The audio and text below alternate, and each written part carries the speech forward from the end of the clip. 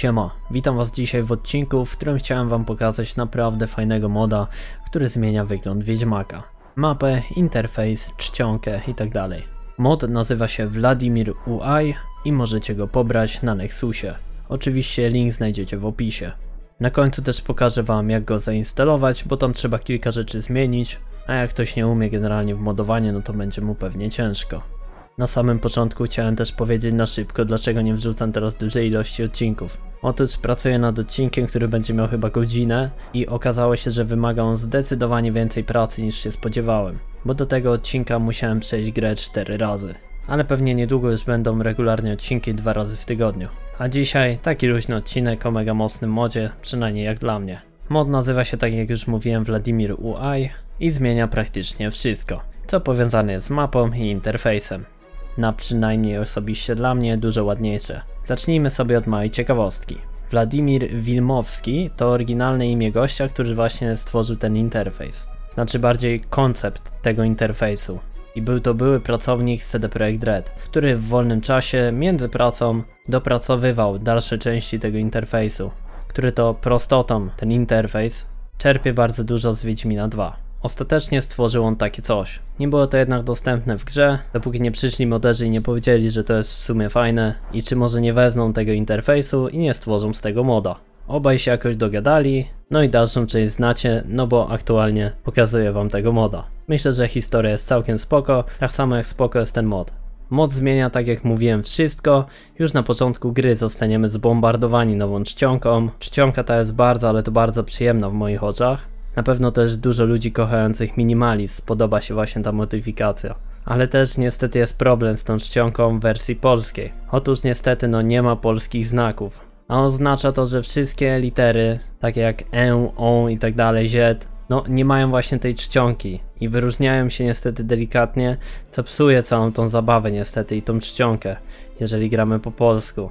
Bo z ładnej czcionki no robi się no no taka. Ale zawsze można grać z angielskimi napisami i z polskim dublingiem na przykład i wtedy to naprawdę ładnie wygląda. A i jeszcze się człowiek angielskiego nauczy. Sam ekran wczytywania gry i ekran ładowania gry również jest zmieniony. Kiedy dostajemy wpis na przykład o jakiejś postaci dodatkowy, to wyświetla się on na takim jakby papierze, co dla mnie wygląda bardzo fajnie. A jak dostaniemy na przykład nowe zadanie, to wyświetla się o taki list. Co ma sens i też wygląda ładnie. Cała mapa w tej modyfikacji została również zmieniona no na taką bardziej mapową. Prawie cała mapa, bo akurat tu są w tej modyfikacji zostało normalne, ale wszystkie inne lokalizacje zostały zmienione. Ja osobiście uważam, że mapa powinna być właśnie taka mapowa, w sensie jak narysowana, tak? A nie taka zwykła, kolorowa jak jest oryginalnie. Teraz faktycznie czuję, że patrzę na mapę, a potem idę i odkrywam ten świat, a wcześniej no to była po prostu mapa, nie? A teraz jest taka przygoda. No, chociaż ta oryginalna ma dużo kolorów, dzisiaj bardzo ważne jest, żeby wszystko migało i miało, i miało dużo kolorów, więc akurat nie dziwię się, że tamta mapa została oryginalnie, a nie taka. Niemniej jednak ta mi się podoba bardziej. Co ciekawe, zamiast znaczników zapytania mamy bezpośrednio napisane co gdzie znajdziemy. Czy są to bandyci, czy jest to jakiś potwór, czy może jest to ukryty skarb, albo może człowiek w opałach. Co już w ogóle uważam za mega mega fajne, bo ja na przykład lubiłem uwalniać ludzi bo czasem była z nimi różna interakcja, albo można było ich gdzieś później jeszcze spotkać, ale jak po 30 wyczyszczonych znacznikach znowu natrafiałem na gniazdo potworów 29 raz z rzędu, to odechciewało mi się już czyścić te znaki zapytania. Dobrze, że tutaj wszystko mamy napisane co i jak, przynajmniej dla mnie. Mapa w ogóle też jest dużo większa niż oryginalnie i zostało troszeczkę pozmieniane położenie na tej mapie. Na przykład zamków w Wyzimie oraz tu są, na takie bardziej dokładne. Dalej chyba najważniejsze, czyli ekwipuneczek. Ekwipunek bardzo przypomina ten z Wiedźmina 2. Zresztą jak wszystko tutaj, tak? Płotka w tej modyfikacji dostała również część w ekwipunku, gdzie mamy cały ekwipunek, który możemy założyć na płotkę oraz model tej płotki. Ale nie taki statyczny model, ale faktycznie ona tam żyje, co uważam, że dodaje świeżości do giereczki. Co jest mega, mega fajne, to to, że możemy na płotkę zakładać i ściągać rzeczy z płotki, a jej wygląd na bieżąco nam się aktualizuje. Nie musimy zakładać na płotkę siodła, wyłączać ekwipunek, wyłączać i patrzeć, czy coś się zmieniło i czy płotka na przykład lepiej wygląda. Teraz za pomocą tego moda możemy sobie to zrobić na bieżąco, w ekwipunku, bez konieczności go wyłączania. Tak samo jest zresztą z Geraldem oczywiście, no ale w grze oryginalnej też możemy coś takiego zrobić. Dalej mamy zadania. Te aktywne, te ukończone, no i poszukiwania. Nie będę się jakoś bardzo nad tym rozwodził, powiem tylko, że wszystko wygląda jak dla mnie schludnie. No nie licząc niestety tej czcionki, tak? Można pewnie ją w naprawdę łatwy sposób naprawić, ale niestety jeszcze nikt tego nie zrobił, z tego co widziałem. Na turecki tylko ktoś przetłumaczył i pododawał tam te dziwne tureckie literki, ale my no takich nie mamy. Alchemia i rzemiosło wyglądają w ten sposób, dla mnie w porządku, ale jakoś czerepu też nie urywa. Ale za to uważam, że bestiariusz już czerep urywa. Ponieważ w bestiariuszu nieomalże wszystkie bestie żyją, co uważam za mega fajne.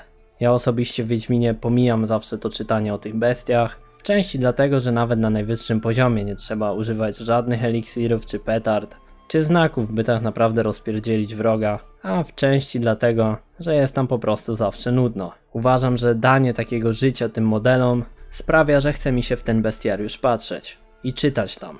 A na dodatek możemy się po prostu przyjrzeć bliżej modelom potworów z większego bliska, bez konieczności uruchamiania trybu fotograficznego w trakcie walki. Postacie, a to naprawdę wielka szkoda, są niestety statyczne, tak jak to jest w oryginalnym Wiedźminie. Ale by było super, jakby one też się tak ruszały. Myślę, że by było wtedy mega, no ale jest jak jest.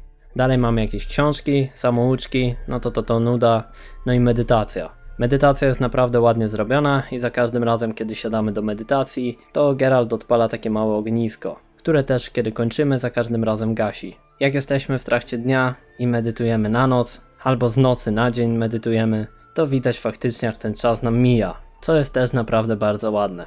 I przedostatnie to mutageny. Mutageny działają mniej więcej tak samo, albo nawet nie mniej więcej, tylko tak samo, ale zmieniona jest oczywiście grafika tych mutagenów i umiejętności. Mutageny chyba teksturę mają z Wiedźmina 2, ale co do tego też pewny nie jestem, bo nie pamiętam, czy takie były, a umiejętności są ręcznie narysowane. Zresztą tak jak ten cały interfejs. I tak jak ten cały interfejs mają też minimalistyczny vibe. Na koniec oczywiście zostawiłem najważniejsze, otóż gwincik. Po 300 rozgrywkach w Gwinta naprawdę fajnie jest sobie odświeżyć chociaż interfejs Gwinta i z modyfikacją Vladimir UI Gwint wygląda właśnie tak.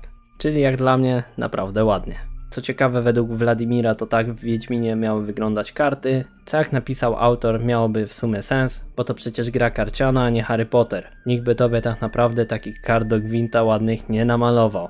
Niestety ta modyfikacja musi na mnie jeszcze poczekać, kiedy będę mógł na niej zagrać w pełni, bo koliduje ona z dużo ważniejszym dla mnie modem, który pomaga mi w odcinkach, ale już wyhaczyłem tą modyfikację bardzo dawno temu i naprawdę chciałem sobie ją przetestować. I naprawdę jest fajna. Myślę, że jak kiedyś przyjdę z powrotem do Wiedźmina, tak sobie go ograć na chillku, to właśnie z tą modyfikacją. A teraz jak zainstalować moda. Tu sobie napisałem, żebym zaimprowizował. To improwizacja szybka. Dobra, mniej więcej musimy wejść na tą stronę, co macie w opisie, pobrać tego moda, wypakować tego moda i będziemy mieli kilka folderów. Kliknąć na Steama, jeżeli grę mamy na Steamie, tylko na Steamie wam powiem jak, ale pewnie podobnie na Gogu. Prawym, właściwości, lokalne przeglądaj i potem te rzeczy z bina, to wrzucamy do bina, tak? Czyli bin, tam nie wiem co tam było, config chyba R4, coś takiego, nie? Tam pakujemy to, DLC wrzucamy do DLC, a moc do moc. Tylko tu pojawia się mały problem, bo musimy zmodyfikować pewną rzecz. Wyszukajcie sobie to, co widzicie teraz na ekranie. Ja wam to wszystko wrzucę w link i zmodyfikujcie to na to, co macie też napisane na dole. Czyli wyszukujcie, wyszuku, wyszukujecie sobie normalnie w folderze, kurde, folderze Wiedźmina, no i zamieniacie po prostu na to, co tam miało być. No i tyle. Mam nadzieję, że to jakoś powiedziałem w dobry sposób. Nie zapisałem sobie tego na bieżąco. Także to by było na tyle z tego luźnego materiału. Jeżeli podobał Ci się materiał, zostaw suba, a my, wiadomo, widzimy się w następnym. Do zobaczenia.